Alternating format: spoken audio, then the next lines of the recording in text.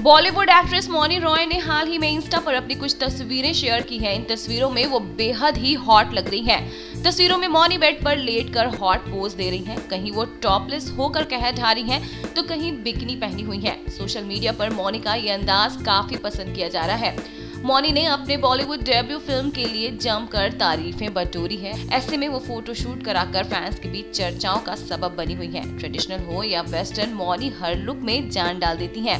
मौनी जल्द ही फ़िल्म ब्रह्मास्त्र में रणबीर कपूर और आलिया भट्ट के साथ नज़र आने वाली हैं। बॉलीवुड की अपडेट्स और गॉसिप न्यूज़ के लिए माया पूरी कट सब्सक्राइब करना ना भूलें। और हमारे अपडेट्स जानने के लिए बेल आइकन ज़रूर प्रेस करें।